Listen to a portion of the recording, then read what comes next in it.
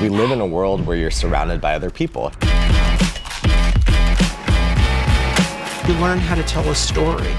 That may not seem like much, but stories are what drive the world. Stories are what drive our interest in the world. That's how we communicate. That's how we generate ideas. That's how we get jobs.